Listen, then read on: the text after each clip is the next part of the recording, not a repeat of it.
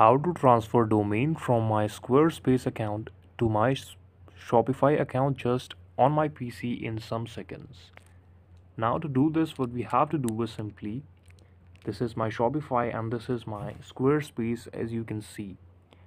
For this I will show you some of the genuine steps and please follow the steps to do this. First step is unlock your domain in the Squarespace.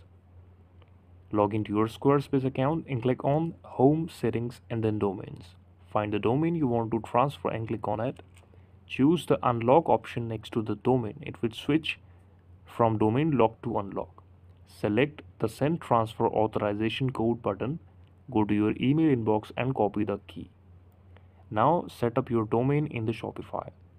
Click on Setting, go on Domain, click on Connect Existing Domain enter the domain you want to transfer. Click on next. Verify domain with the domain unlocked key. So this is how all the process will be happen in your laptop. Thank you so much for watching the video. Please subscribe to the channel for watching more